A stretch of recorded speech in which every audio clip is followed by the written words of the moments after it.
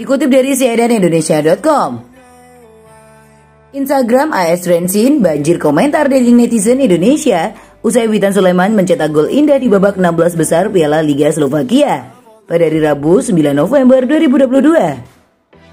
Meski turun dari bangku cadangan di babak kedua, Witan sukses membayar kepercayaan pelatih dengan menyumbang satu gol sekaligus membawa Trensin menang 5-0 atas Spartak Mnyava. Winger timnas Indonesia itu baru dimainkan pada menit ke-58 untuk menggantikan Matu Kemet yang mengalami cedera.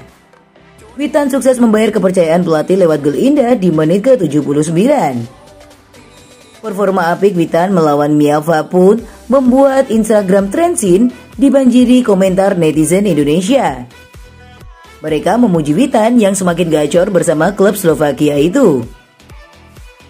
Dalam Kamus Besar Bahasa Indonesia, Gacor diartikan berkicau di setiap tempat dan waktu. Kata tersebut mulai lumrah disematkan kepada pemain yang rajin mencetak gol. Witan terus berkembang bersama Trensin di musim ini. Total 4 gol dan 2 assist telah dilesakan bersama AS Trensin di semua kompetisi.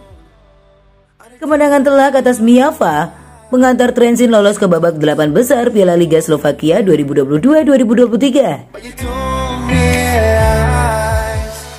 So, pastikan kalian tetap stay tune terus di YouTube channel Gila Bola.